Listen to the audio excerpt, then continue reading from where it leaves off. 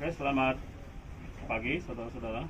Hari ini kita memperkenalkan alat-alat navigasi yang mana di kapal ini sangat perlu. Dan ini adalah MOB nih, alat untuk penanda keselamatan apabila kapal mengalami musibah. Maka dia akan memancarkan sinyal itu juga dengan IPEP membuka dengan sendirinya sehingga alat yang ada di dalam ini dia akan keluar dan memancarkan sinyal yang akan dipancarkan kepada SAR dan peralatan navigasi yang ada di darat untuk bisa menangkap sinyal dari kapal yang mengalami musibah tersebut. Ini di peralatan ini di IPEP ini di sini tercantum nomor MMI MMI kapal yang yang dimaksud.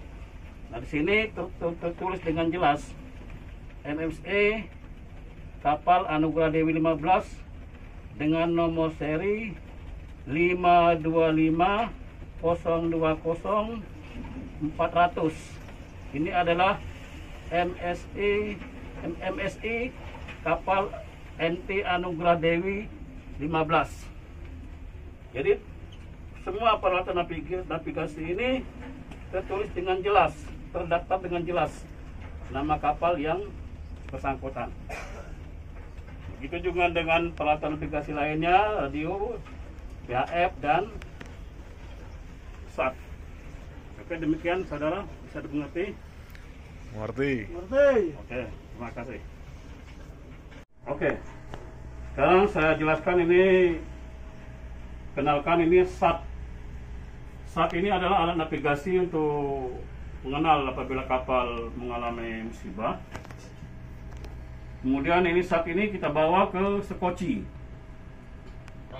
Nah, di mana nanti dia akan memancarkan sinyal ke satelit sehingga pihak penolong atau SAR dapat memantau, dapat melihat posisi keberadaan kita. Nah, di setiap kapal ini alat ini ada ini dan juga tercantum dengan jelas adalah ini nomor emisi kapal sama dengan IPEP dan MOB tadi. Jadi dia terdaftar itu. Dan masa berlakunya juga tersurat dengan jelas sehingga bisa selalu diupdate. Apabila dia masa berlakunya sudah habis maka harus di update ulang. Apakah bisa mengerti? Bisa. Oke, Bisa. terima kasih.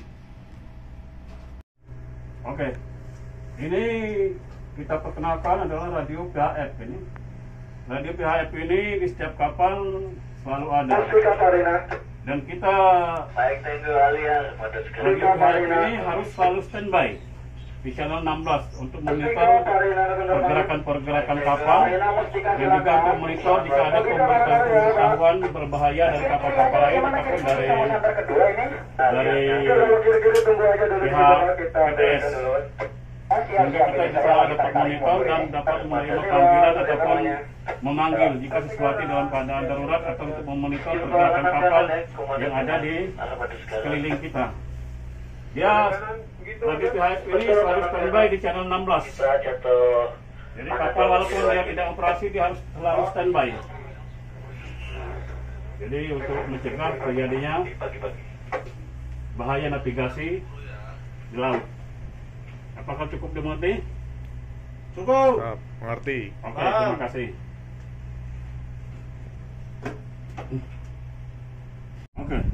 Ini kita perkenalkan adalah alat navigasi yang berjenis AIS, Automatis Identifikasi System. Sekarang ini AIS ini harus ada pada setiap kapal. ya. Kapal feri yang lambungnya cat merah, SPB bunker. Harus ada di setiap kapal karena untuk pengenalan antara kapal dengan kapal sehingga dapat menentukan jarak Kapal antara kapal dengan kapal menghindari adanya bahaya tunggurukan di laut. Ini AIS sangat diperlukan karena banyaknya kejadian sebelumnya karena tidak adanya ombaknya Jadi kita bisa memonitor kapal dalam jangka dalam dengan jarak radius sekian mil sehingga kita bisa melihat pergerakan-pergerakan kapal. Oke, Komandan. Terima kasih. Jadi ini AIS ini harus standby terus 24 jam. Tidak boleh mati. Nah, makanya itu, dari situ ini sangat alat ini sangat kita perlukan di atas kapal. Apakah bisa dimengerti? Siap, mengerti. Oke, terima kasih. Oke, ini kita sekarang perkenalkan alat navigasi jenis radar. Ini radar ini sangat dibutuhkan ya, sangat diperlukan di atas kapal apabila cuaca malam hari atau cuaca dalam keadaan buruk atau kabut. Radar ini bisa kita fungsikan untuk melihat pergerakan-pergerakan kapal yang ada di sekeliling kita. Nah, sehingga kita bisa memantau jarak antara kapal dengan kapal atau jarak kapal dengan daratan atau jarak kapal dengan bahaya-bahaya navigasi lainnya di laut. Radar ini kita pergunakan pada saat malam hari. Hampir rata-rata keadaannya demikian ya. Karena kita jarak pandang kita terbatas pada malam hari sehingga kita memerlukan alat navigasi jenis radar ini. Di kapal-kapal berada bermacam-macam jenis radar. Ada yang radar apa dan radar simulakor. Kita ini keluar lewat alur masuk, Pak. Jadi kita bisa praktekkan apabila kapal di tengah laut dalam keadaan belayar pada malam hari atau dalam keadaan cuaca berkabut. Sehingga kita bisa dapat memantau pergerakan-pergerakan kapal di sekeliling kita ataupun jarak antara kapal dengan daratan. Apakah bisa dipahami? Siap, bisa dipahami. Oke, terima kasih. Oke, sekarang kita perkenalkan teropong. Teropong ini sangat diperlukan di atas kapal. Dari se- sejak zaman dahulu sudah diperkenalkan alat teropong ini. Nah, sehingga kita bisa dapat memantau jarak antara kapal dengan daratan ataupun pulau-pulau ataupun kapal-kapal ataupun bahaya-bahaya navigasi lainnya di laut.